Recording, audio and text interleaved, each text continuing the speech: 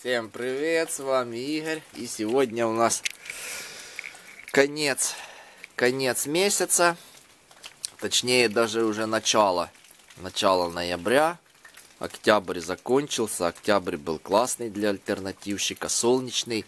А вот сейчас вот второе число. Ну, я и прошлый месяц в октябре тоже второго обнулялся. Счетчики. Вот такая вот погода, видите, дождь идет. Вот, и по прогнозам, там я смотрел наперед, э, на неделю тоже такая погодка совсем не радует. Не радует альтернативщика, кто занимается солнечными панелями. Вот как-то так вот сразу, вот так вот начало ноября и сразу и обрезало вот так вот солнце не стало. Вот, кстати, прошлый год то же самое было. В начале ноября как-то сразу не стало солнца. Я тоже в начале ноября, э, помню, включил тепловой насос. Ну, про тепловой насос я в субботу выложу видео. Там я его уже буду включать на постоянку, потому что солнца нет, солнечное отопление, как вы сами понимаете, не работает. Так, идем смотреть счетчики, короче. Итак, вот я уже возле своей щитовой солнечной электростанции. Ну, вот это вот, кто не знает, первый раз смотрит мой канал, мое видео. Вот это вся моя солнечная электростанция, ну, между панелями и нагрузкой. Больше у меня ничего нет.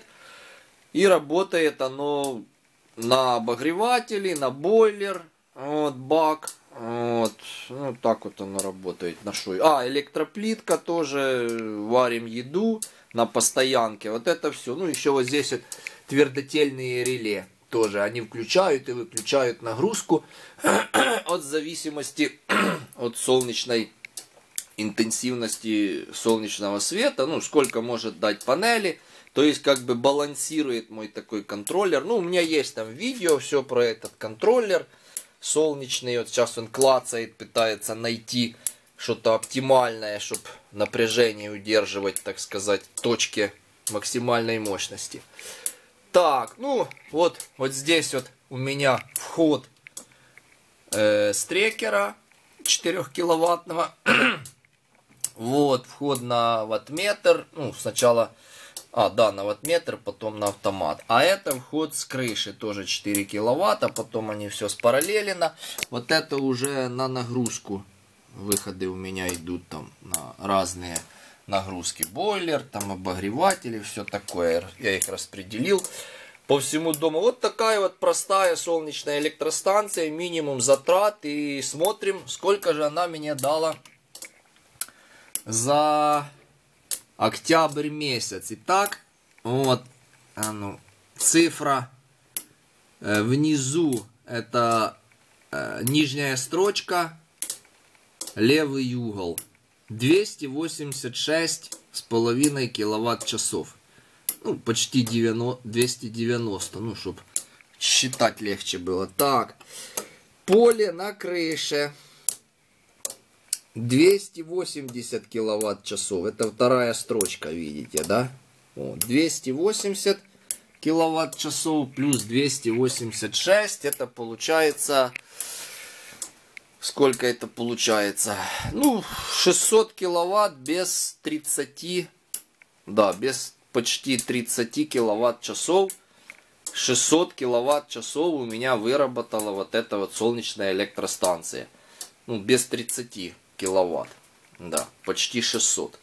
О, ну не знаю, много это или мало. Я там смотрел калькуляторы разные то они все по-разному показывают. Некоторые 500 киловатт показывают, в октябре должна выработать такая 8 киловаттная солнечная электростанция, другие 600, третьи 640, ну, по-всякому.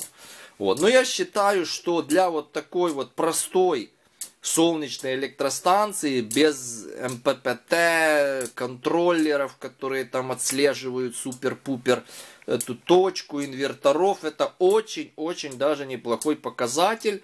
Вот, почти без 30, как говоришь, 600 киловатт часов. И это говорит о том, что этот контроллер простой, клацающий из обычных релюшек и твердотельных реле, и двух автоматов вполне, вполне себя оправдывает. И очень даже он неплохо, этот контроллер, отбирает мощность у солнечных панелек. Тем более, что здесь у меня никаких трансформаций нет, никаких преобразований, поэтому вся мощность идет в нагрузку. То есть бойлер, электроплитка, обогреватели, все полностью. КПД 100%. 100% КПД этой энергии. То есть мне не надо там считать до инвертора, после инвертора или аккумуляторов, там разные будут показатели. У меня тут все зашло, все и выложилось на нагрузке. Вот. И это мне очень нравится. Просто, эффективно, надежно.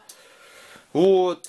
В случае выхода любого реле, любого из пяти, ну, шестой я еще не подключил, вся остальная система будет работать, потому что все релюшки, они отвечают за какую-то одну нагрузку. Вот, так что, чтобы оно все сразу поломалось или все твердотельные реле вышли из строя, то это ну, такого нереально, этого быть не может. Вот, так что надежность тоже, я считаю, на уровне такой солнечной электростанции. Вот, ну вот, собственно, что я и хотел показать. Еще а, про коллектор солнечный. Ну, у меня солнечное отопление в октябре, можно сказать, полностью отапливала мой дом, то если так вот, ну, сравнительно, я вот сравниваю, да, если эта солнечная электростанция около 600 киловатт-часов произвела, то мой солнечный коллектор, ну, я так сравниваю по объему тепла, там сколько, то нагрело, то нагрело в разных комнатах, сравнительно где-то 300-400 киловатт-часов коллектор выдал, точно. Вот. Ну, это даже если взять половину такого мощности, то половину, да, то, ну, по мощности, да, то по цене это совсем не половина, потому что э, за стоимость коллектора моего солнечного можно купить всего-навсего две панельки. Всего-навсего две панельки.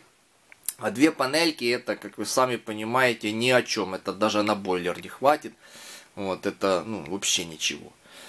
Вот, так что, ну, все, все уже, наверное, закончилось мое солнечное отопление. Вот, в субботу уже выложу видео запуск теплового насоса сезон э, 21-22. Вот, ватметр у меня есть на тепловой насос, тоже будем отслеживать производительность, ну, потребление электроэнергии.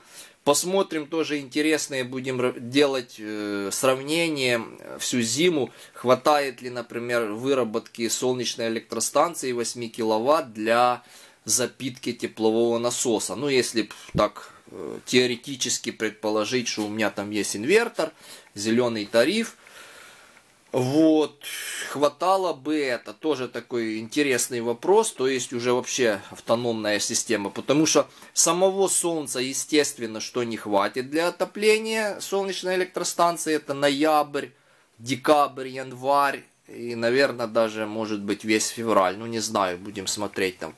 Но если запитывать тепловой насос от солнечной электростанции, то там энергии надо где-то в 5 раз, в 5 раз меньше.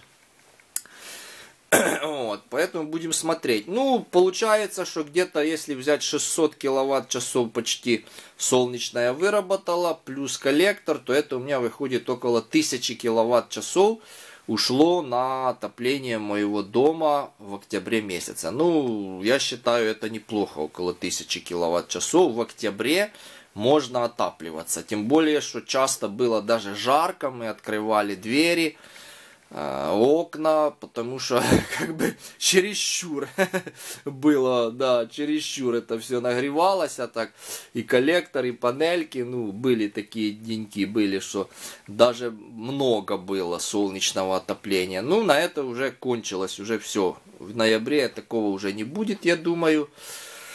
Ну вот как-то так, все рассказал, что хотел. Пишите в комментариях, что вы думаете. Кто зашел, я оставлю ссылки первый раз. Я оставлю ссылки на всю свою альтернативу, как это делать. У меня есть и про контроллер, и про тепловой насос. Все там есть и в конце видео будет, и в ссылке в описании. Ну все. Всем до следующих видео. Всем пока.